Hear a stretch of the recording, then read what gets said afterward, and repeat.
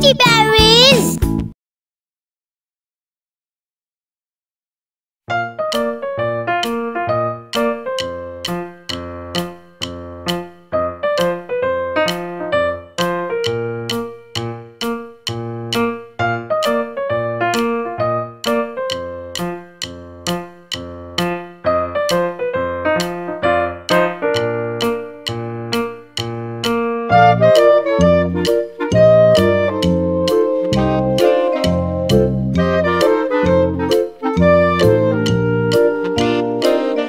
Thank you.